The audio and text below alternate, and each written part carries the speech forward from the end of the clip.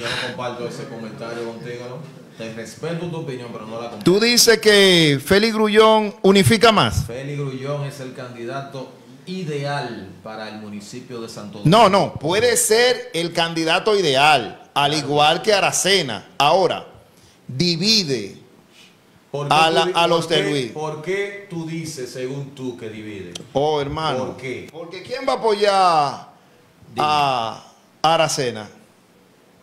La estructura completa de Radamé Y González. Aracena tiene el peso político que tiene Félix Grullón.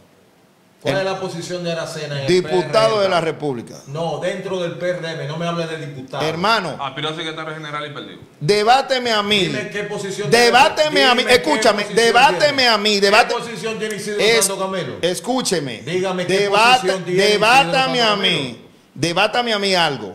¿Qué tú quieres que te debata? Yo le dije a usted que él creaba la unidad porque está dividiendo. Maquiavelo dije divide y triunfa. No y se está dividiendo y se va a seguir. y- Ese es tu punto de vista. ah, pero ¿y qué yo dije? Revisa el comentario. Y te dije que no comparto tu comentario. Te lo respeto, pero no te lo comparto. Ajá. Ninguno de los dos tiene peso político actualmente ¿Por qué? para compararlo con Grullón. funcionarios.